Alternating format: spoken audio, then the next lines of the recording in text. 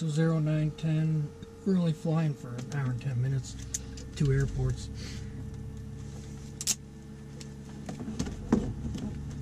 Yeah, the bathroom's uh, over there somewhere, and they're supposedly drinking fountain. Potable water of some sort.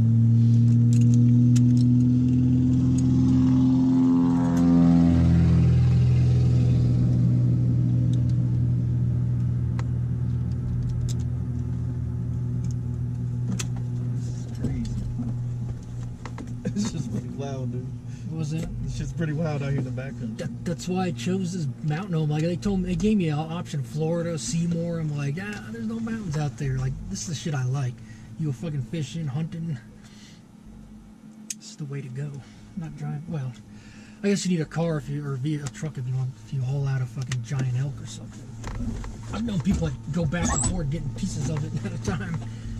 This guy in Alaska that used to do that. One of our pilots, he kept his airplane in our aero club hangar. And he went up north, he kept shooting caribou because there was like a 20 a day limit or some crazy amount. He just go back and forth, bringing them in his twin.